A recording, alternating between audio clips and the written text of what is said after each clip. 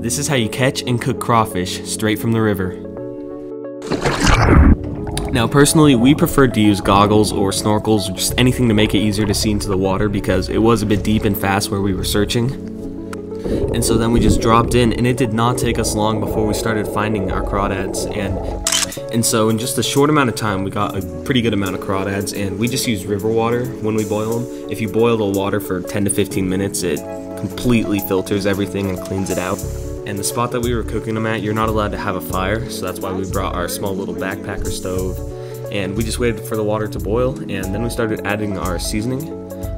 Now, we used Old Bay seasoning. It's a seasoning meant for seafood, crustaceans, crabs, and it tastes really good on crawdads. And make sure to be really generous with the seasoning. It takes a lot for the seasoning to actually get into the meat of. But yeah, it tastes incredible, lots of fun. You guys will have to try it yourself.